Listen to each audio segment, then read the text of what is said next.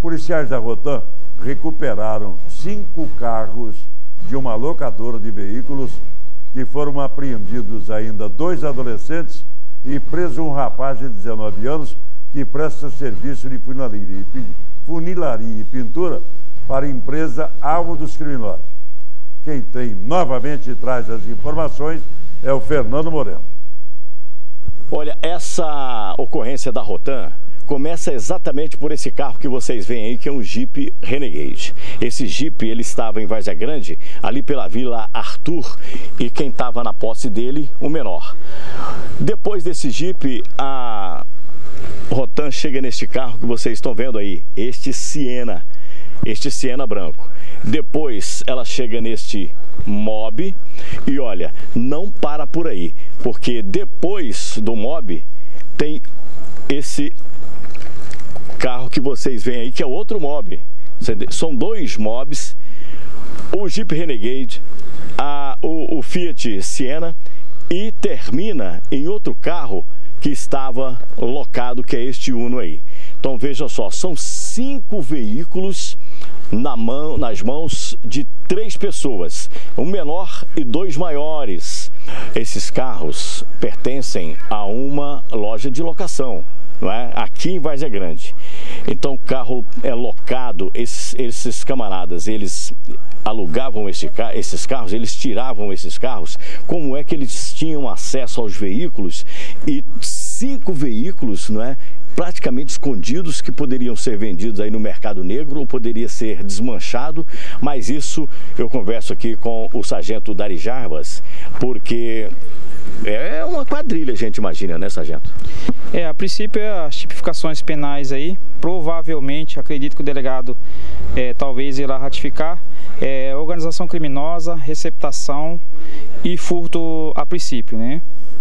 É, esses veículos foram localizados através da denúncia da empresa Localiza, que dava conta de tinha desaparecido um Jeep é, de é, Renegade de cor cinza ou prata, estava dando no, no bairro de Vaza Grande. Diante dessa informação, a equipe de Rotan 03, comandada pelo Sargento Tony, é, deslocamos até o, o endereço supracitado e lá fomos recebidos por um menor que nos informou que ali era a casa dos seus avós. Que estava de, de posse do Renegade. Estava de posse do Renegade e conversa com o mesmo e revista busca pessoal, foi localizado mais chave de um, de um outro veículo, é, um outro mob.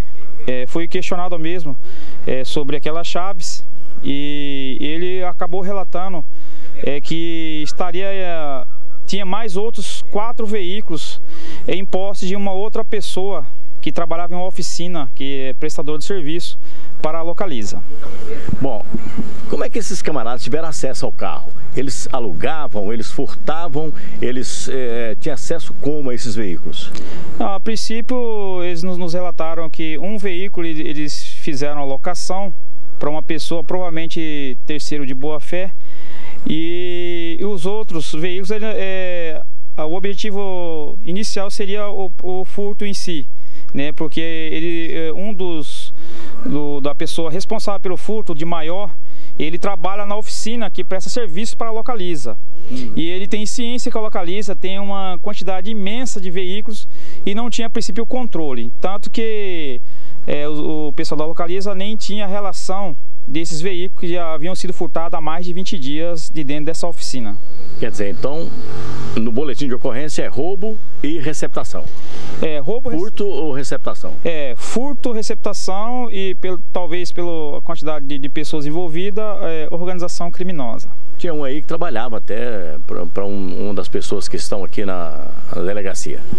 É, eram, dois eram funcionários dos, dos envolvidos, o maior e o menor, e esse terceiro, o primeiro que nos recebeu, era apenas amigo e estava fazendo aí a guarda de, do Jeep Renegade. Né? É claro que agora as investigações começam a, é, ser feitas para ver se tem mais alguém envolvido, evidentemente. Né? Por enquanto, um menor e dois maiores, mas deve ter mais gente envolvido nesta situação dos carros recuperados aqui em Vazia Grande. Imagens do Evaldo Santos, Fernando Moreno, para o Cadeia, neles.